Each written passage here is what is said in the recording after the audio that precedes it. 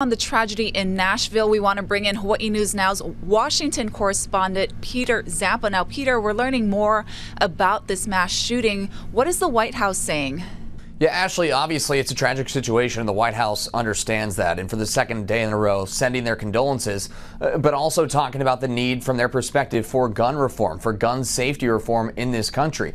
The president's talked about it multiple times today. He said he's already done what he can do in the, in, by way of, uh, of gun control and by way of extending background checks and things like that. He's now calling on Congress to act. He wants to ban assault weapons, uh, but he has to know, and a lot of Democrats Democrats have to know there just isn't the appetite for that on Capitol Hill right now. But obviously, the president is still very frustrated, still wants Congress to build on some legislation they passed last year. Unclear if there is going to be any movement on Capitol Hill, given how divided it is right now.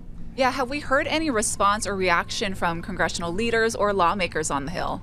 We did hear from both pairs of leadership today. Uh, Republicans uh, are sticking by their their uh, what they've always felt is their platform on this issue, is saying they want to hear all the facts first, and and they don't want to make this political. They they are blaming Democrats for making this political, but it's really rinse and repeat. Every time we have one of these mass shootings, Republicans say they don't want to play politics with this. They send thoughts and prayers, and, and they don't call for any action necessarily, while Democrats immediately call for action. Democrats Democrat leader, Democratic leaders today on Capitol Hill saying that they do want to move on another assault weapons ban like they passed in the last Congress that eventually eh, died because there was no appetite in the Senate.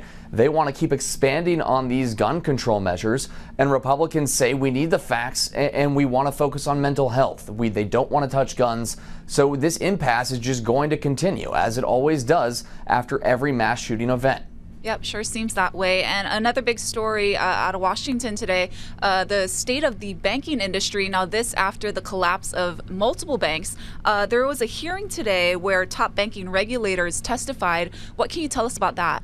Yeah, Ashley, you had uh, an official from the Fed, the Treasury, and the FDIC all in front of the Senate uh, Banking Committee getting hammered by both sides of the aisle because there are still so many questions as to how this crisis came to be and how we can prevent it in the future. Now, you have to understand, all three of these officials acknowledge that there's still a review process going on, so they can only say so much.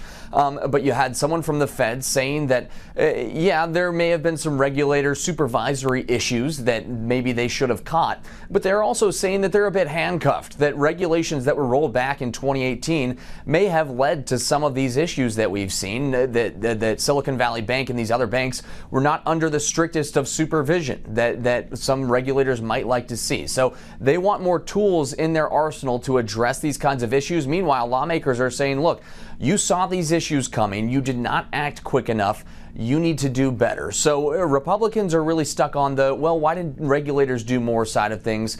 And some progressive Democrats are saying we need more regulation. We need to give them more tools. So it's not like we got a ton of answers out of this today, but we know where both sides stand. All right. Hawaii News Now's Washington correspondent Peter Zampa. Always appreciate the time, Peter.